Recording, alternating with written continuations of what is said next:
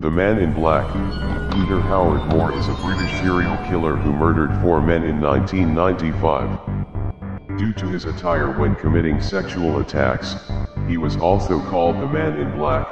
Between September and December 1995, he stabbed to death and mutilated four men for fun. He also committed 39 sex attacks on men in North Wales and the Merseyside area over a 20-year period. He was sentenced to life imprisonment in November 1996, with the recommendation that he never be released.